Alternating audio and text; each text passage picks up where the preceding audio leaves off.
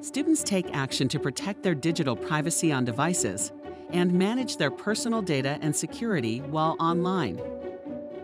We watched the Snowden documentary, Citizenfour, to really understand the Fourth Amendment, and we've had lots of conversations about when it gets complicated. The right of the people to be secure in their persons and effects against unreasonable searches and seizures shall not be violated. So I think the best way we can do it is bring it into the class curriculum and allow them, like we did, to engage with their phones on the spot. Ms. Rice gave us the opportunity to take out our phones and we went to our settings and basically saw a lot of your social medias can also find your location, they can access your gallery, and even your voice memos. Like, it's crazy.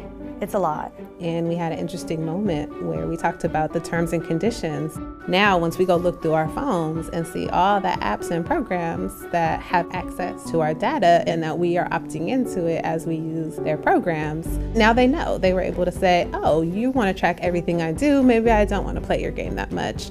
And if it's not acceptable, how they can opt out. It's important that the students know that they have the power to make decisions about their privacy.